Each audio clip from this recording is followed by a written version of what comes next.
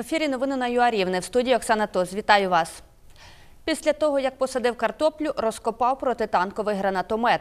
У селі Ставки, що у Рівненському районі, 31-річний місцевий житель травмувався на подвір'ї власного будинку від розриву боєприпасу. Як розповіла пресофіцерка відділу комунікації Нацполіції області Ольга Ангелова, гранатомет чоловік закопав там 5 років тому. Нині він з травмами руки у лікарні. В'ячеслав живе у селі Ставки Рівненського району. Свого прізвища чоловік не називає. Розповідає, вчора о 13-й чув вибух у сусідньому будинку, де проживають брати Роман та Олександр. Вибух то я чув, а я так уваги не звернув, ну, гепнуло, мало лі що в кого де щось. Я чув, що раз гупнуло і все. Хлопці то вже то трудяги. По будівництву все, спеціалісти непогані. У будинку, де стався вибух, двері нам не відчинили. Вже як розповіла пресофіцерка відділу комунікації Нацполіції області Ольга Ангелова. У ставках 31-річний чоловік розкопав ручний протитанковий гранатомет, який закопав 5 років тому. Група чоловіків на городі в одного із місцевих жителів садили картоплю. Е, Після цього вони розпивали алкогольні напої, і власник господарства е, розкопав е, ручний протитанковий гранатомет і от е, намагався щось з ним зробити. Через недбале ставлення із боєприпасом він вистрелив і полетів у сторону е, приватного домоволодіння. Вибуховою хвилею йому пошкодило пальці обох рук. Його госпіталізували в травматологічне відділення лікарні. Вчора поступив нас хворий з досить важкою вибуховою травмою. Е, Обставини на момент поступлення були невідомі, але враховуючи вигляд травмованої кінцівки, зрозуміло, це була вибухова травма. Е, Поступив із повним травматичним відчленуванням другого, третього пальців і також відсутністю п'ясних кісток, відповідно другого, третього пальців.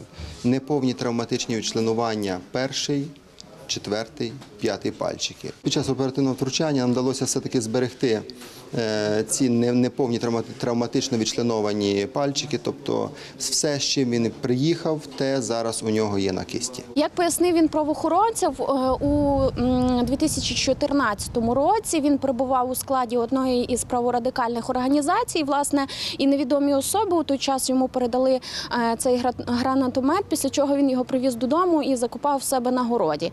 І от е, е, саме вчора він вирішив його розкопати і власне перевірити, чи він е, справний. Зараз стан чоловіка задовільний. За декілька днів його випишуть з лікарні. Повідомив Сергій Бондар. Спілкуватися з журналістами він відмовився. Його брат Олександр розповів, що у момент пострілу перебував поруч. Подробиці розповісти не захотів. З братом зараз спілкуватися не треба. А давайте можна Ви розумієте його стан зараз, ні? Із власних джерел нам стало відомо, що 31-річний Роман перебував в організації Правий сектор. А у 2014 році був на майдані у Києві. Це підтвердив командир 10-ї сотні добровольчого українського корпусу Правий сектор Руслан Іванчук. Після майдану чоловік ніде не служив. На Майдані він був і в рядах правого сектора він був. Але я кажу, за час мого керування він не знаходився в, в моєму підпорядкуванні. Відповідно, що він робив е, з 15-го року, чим займався і звідки що я брав, мені невідомо. На Майдані не було такої зброї, це однозначно. Ми могли, бути тільки на лінії розмежування під час військових дій. Яким чином вони в нього тут на місці, на мирній території показалися, я не знаю. За фактом недбалого поводження з боєприпасами, що призвело до травмування особи, правоохоронці розпочали досудове розслідування. Повідомила пресофіцерка відділу комунікації Нацполіції області Ольга Ангелова. Правоохоронці перевіряють інформацію про походження боєприпасу та встановлюють осіб, причетних до цієї події. Аліна Примак, Руслан Савуляк, Оксана Бура, Микола Штемпаль. Новини ЮА Рівне.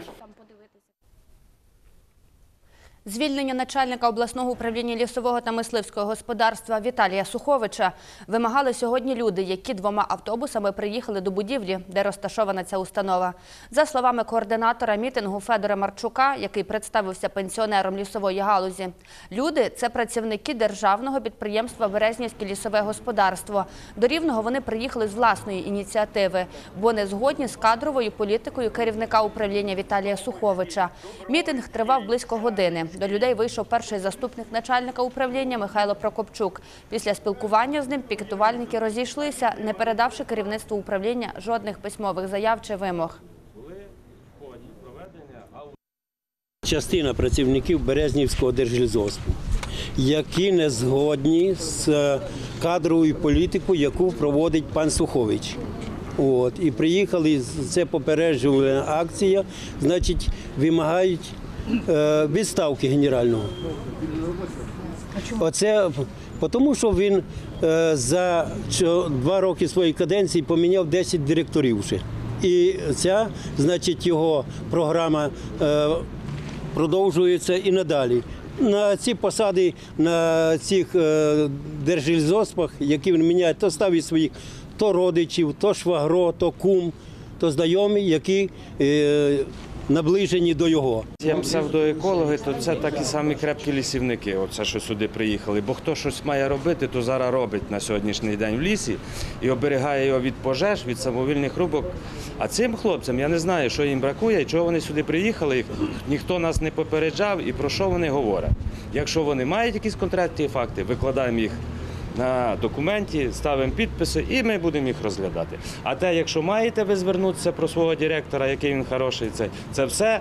Контракт заключається з Державним агентством лісового господарства. Звертайтесь туди і заключайте там цю угоду.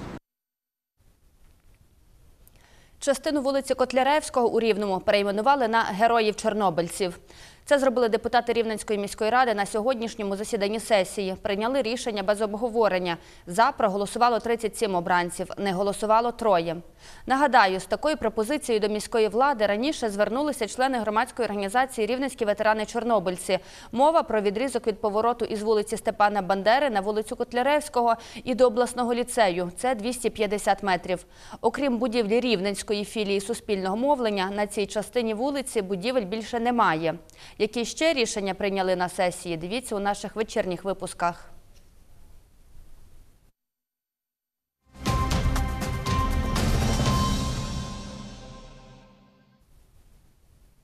Дерев'яні писанки сьогодні вивішують на деревах у центрі Рівного, і, зокрема, на бульварі Незалежності.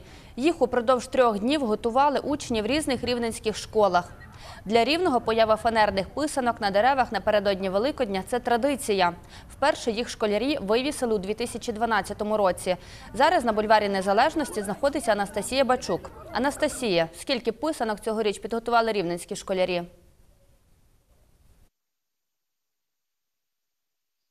Вітаю, Оксано. Я зараз знаходжуся на бульварі Незалежності, як його ще називають Чайчина алея. Тут орієнтовно о 13-й годині старшокласники рівненських шкіл почали прикрашати дерева власноруч виготовленими писанками. За моєю спиною ялина, яку прикрасили старшокласники восьмої школи. Тут 30 яєць із фанери робили їх на уроці праці.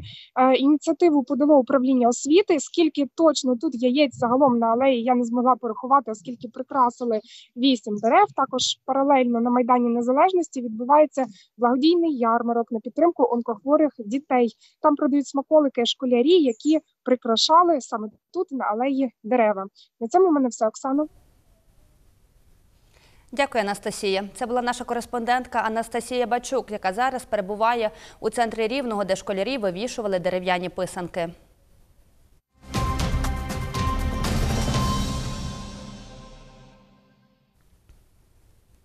По двоє поляків, німців, чехів, данців, по одному французу, фіну, латвійцю, словаку, угорцю та іспанцю, а також п'ятеро українців. У клубі вболівальників Рівненського спідвею оголосили склад учасників півфіналу особистого чемпіонату Європи зі спідвею, що відбудеться у Рівному 1 травня.